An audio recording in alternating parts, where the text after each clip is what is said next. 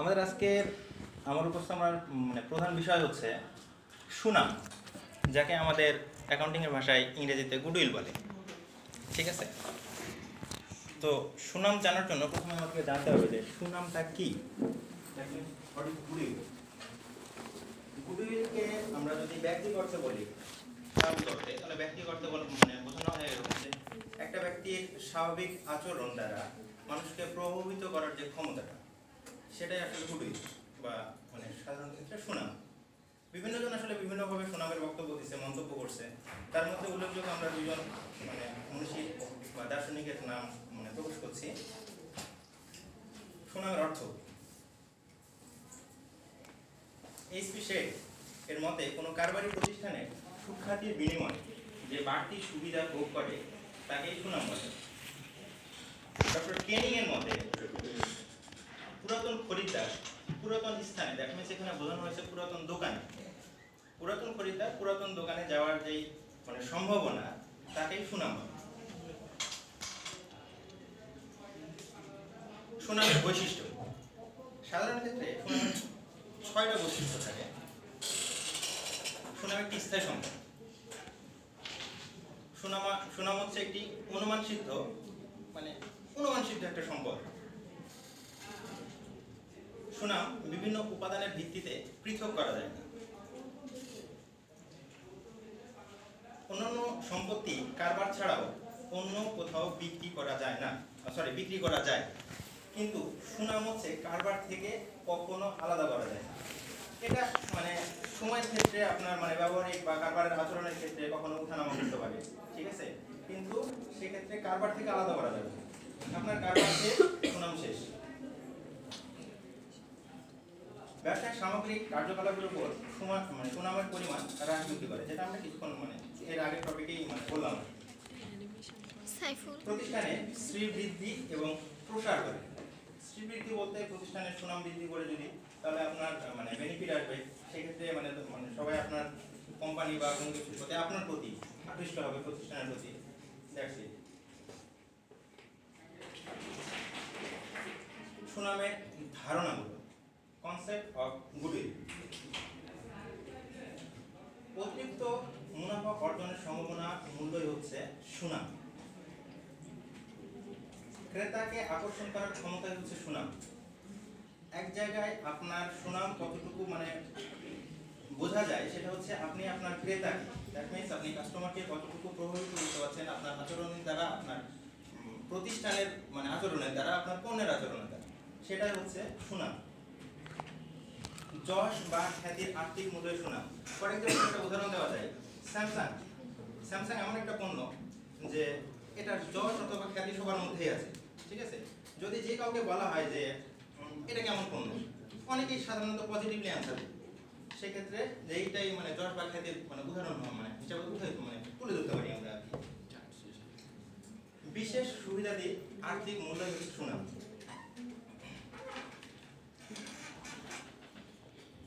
সুনাম কি ধরনের সম্পদ? সুনাম আসলে সত্য কথা একটা সম্পদ। অনেকেই বিভিন্নভাবে বিভিন্ন মন্তব্য করে। তবে প্রথম অবস্থায় আমাদের ভাষায় যেটা বলা হয়, সুনাম হচ্ছে একটা অস্পর্শ মানে স্পর্শ করা যায় না। দ্যাট মিনস অস্পর্শনীয় একটা সম্পদ। অস্পর্শনীয় সম্পদ মূলত কাকে বলা হয়? যেটাকে স্পর্শ করা যায় না বাট যার ভ্যালু আছে, মূল্য আছে। মূল্য বলতে এরকম বোঝায় আমার কোনো মানে সরি সুনামের আসলে কোনো মানে যেটা বলা হয় স্পর্শ করা যায় না। সুনাম একটা এমন একটা জিনিস যেটাকে স্পর্শ করা যায় না। আর মূল কথা যদি বলা হয়, আপনি একটা জিনিস প্রোডাক্ট বিক্রি করবেন, আপনার যদি ভালো সুনাম থেকে থাকে, ঠিক আছে, সেক্ষেত্রে আপনার কাছে সবাই আসবে, আপনার পণ্য বিক্রয় হবে, ঠিক আছে? এই পণ্য বিক্রয়ের যে মাধ্যমটা, আপনার সুনামের ফলে দ্যাট মিনস আপনার মানে প্রতিষ্ঠানের মানে ক্রেডিট বাড়লো, ঠিক আছে? সেই ক্ষেত্রে সুনামের জন্যই আপনার মানে ইয়েটা বাড়ছে ক্রেডিটটা বাট এখানে সুনাম কিন্তু মানে প্রোডাক্টটা হচ্ছে স্পর্শনীয়। বাট আপনার সুনামটা কিন্তু কখনো স্পর্শনীয় এই জন্যই সুনামটাকে অস্পর্শনীয় সম্পদ হিসেবে অনেকে উল্লেখ করে। তবে সব ক্ষেত্রে আমরা অস্পর্শনীয় সম্পদ হিসেবে উল্লেখ করতে পারব, এটা কখনো কখনো কাল্পনিক বা অলিক সম্পদ বলা কাল্পনিক এবং অলিক সম্পদ জানার জন্য আমাদের মানে মন্তব্য করা উচিত। সেটা হচ্ছে অলিক সম্পদ হচ্ছে এক ধরনের সম্পদ বাট এটার কোনো ভ্যালু নেই।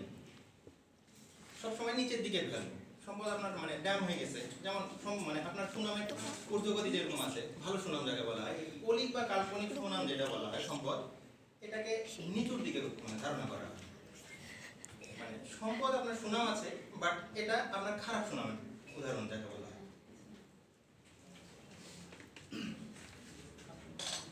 সুনামের শ্রেণি সাধারণত, সাধারণ অবস্থায় প্রথমে সুনামকে মোটামুটি পাঁচটি ভাগে ভাগ করা যায়। যথা অবস্থানগত সুনাম কোন একটা নির্দিষ্ট স্থানে যে আপনার মানে একটা বিজনেস নিয়ে বলছেন সেটা অবস্থানের উপর সুনাম ঐতিহ্যগত সুনাম পুরাতন আমলে আপনার কি ছিল? সেটা নিয়ে আপনি ভালো কিছু করছেন। ঐতিহ্য ধরে রাখছেন সুনামে, সেটা একটা মানে সুনাম ব্যক্তিগত সুনাম ব্যক্তিক আচরণের ক্ষেত্রে আপনি কি রকম? আপনার কাস্টমারদেরকে আপনি কি রকম স্যাটিসফাইড করতে পারছেন? ঠিক আছে, সেক্ষেত্রে একটা সুনাম সরি পণ্যের সুনাম আপনার ভালো পণ্য, কিছুক্ষণ আগে যেরকম একটা উদাহরণ দিলাম আমি, ভালো পণ্যের সুনাম আবার বলছে একচেটিয়া সুনাম ওই একটা উদাহরণ দিতে পারি আমরা। স্যামসাং, বর্তমানে স্বামী চলছে ওয়াই চলছে, ঠিক আছে, আর অন্যান্য প্রোডাক্ট আছে, যেমন পোশাকের ক্ষেত্রে ইজি এগুলো আসলে মানে একচেটিয়া বাজার পড়ে যাচ্ছে আর কি, ঠিক আছে? আচরণের ভিত্তিতে দ্যাট মিনস ক্রেতা, যারা আমরা ক্রেতা আছি, কোনো কিছু কিনতে যাব, তাদের আচরণের ভিত্তিতে, আবার সুনাম কয়েক প্রকার একটা হচ্ছে মার্জাল বা বিড়াল সুনাম বিড়ালে একটা প্রকারভেদ আছে, একটা আচরণ আছে, সেটা হচ্ছে সাধারণত করে কি, এক বাসায় যেটা থাকে, ওই বাসা ছেড়ে অন্য কোনো বাসায় যেতে চায় না। তো আমাদের যারা মানে ক্রেতারা, তারা সাধারণত যে কোনো একটা দোকান ফিক্সড করে নেয়, যে জায়গায় ছেড়ে ওই দোকান ছেড়ে বা ওই কাস্টমার ছেড়ে মানে সরি ওই মানে প্রতিষ্ঠান ছেড়ে অন্য কোনো প্রতিষ্ঠানের জিনিস নিতে চায় না। উদাহরণস্বরূপ বলা যায়, আমার একটা ফ্রেন্ড আছে সেই ক্ষেত্রে ওই করে কি স্যামসাং ছাড়া অন্য কিছু বোঝে না। প্রোডাক্ট হিসাবে। এই একটা। সারমেয় বা কুকুর শোনা শুনতে একটু খারাপ লাগলেও সত্য কথা হচ্ছে এরকম যে কুকুরের স্বভাব যেটা, অনেকটা প্রভুভক্ত। আপনার উপর একবার যদি মন বসে যায়, ঠিক আছে? সেক্ষেত্রে আপনাকে ছাড়া অন্য কোনো মানে কোনো জায়গায় যাবে না। ঠিক আছে? এই ধরনের সুনাম যে ব্যক্তি অর্জন করে নিছেন, তাদের ক্ষেত্রে বলা হয় মানে সারমেয় বা কুকুর সুনাম এটাকে ফিক্সড সুনাম হিসেবে উল্লেখ করা যায় অনেক সময়। শোষক বা খরগোশ সুনাম। খরগোশের স্বভাব হচ্ছে সাধারণত বাড়ির আনাচে কানাচে যেগুলো আছে একটা নির্দিষ্ট এলাকা নিয়ে আর বাইরে আর কোথাও যাবে না। ঠিক আছে?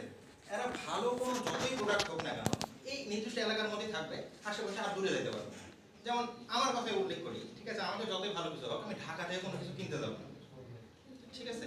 আমার যদি ভালো লাগে তার রাজশাহীর মধ্যে কোনো কিছু কিনে নিলাম। ঢাকা থেকে অত কষ্ট করে আবার নিয়ে আসার কোনো মানে হয় লাস্ট হচ্ছে মুশিক সুনাম বা ইঁদুর সুনাম। ইঁদুরের স্বভাব হচ্ছে, ভালো যে জায়গায় পাবে সে জায়গায় ঠিক আছে?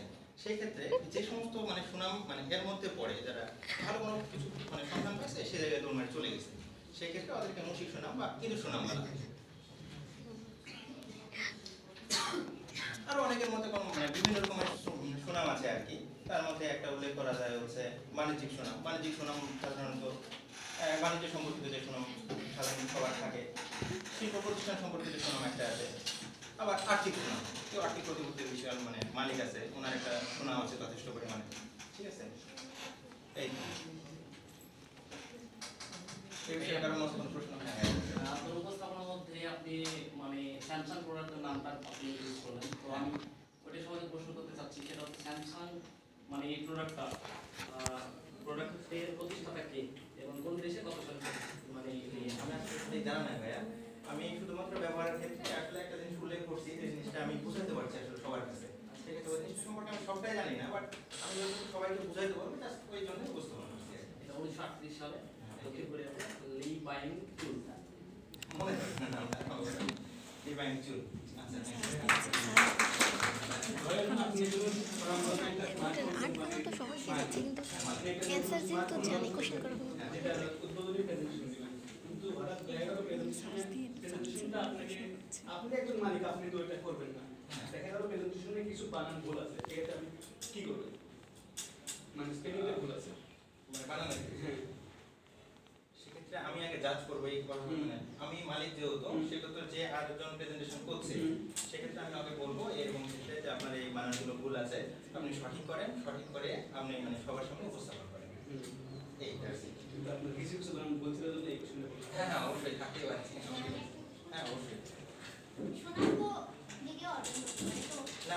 সন্তানের অর্জনের ক্ষেত্রে বাবা মায়ের দায়িত্ব কত আপনি তো শোনার অর্জনের ক্ষেত্রে শোনা অর্জন করার জন্য মানে যেমন আমি আমি শোনা অর্জন করব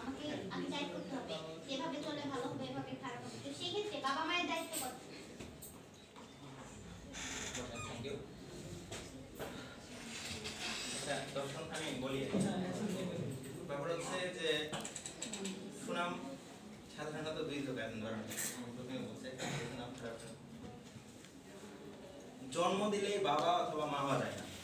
প্রথম কথা। ঠিক আছে? আপনি মানে ফর এক্সাম্পল একজন একটা বাচ্চা জন্ম দিছে, যে ফালাই দিছে, ফালাই দিয়ে চলে আসছে আর একটা মা ওকে নিয়ে আসছে, নিয়ে এসে লালন পালন করছে।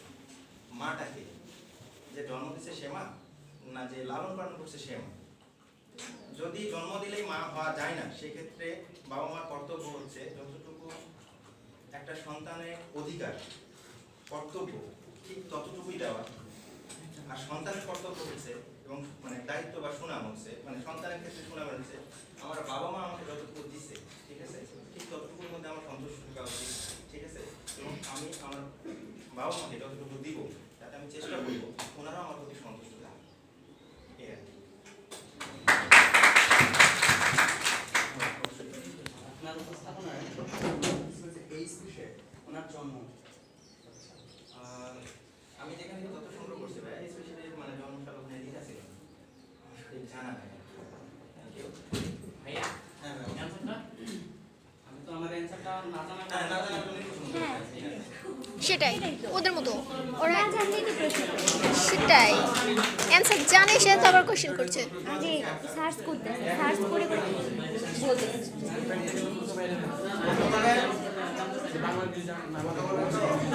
ধন্যবাদ।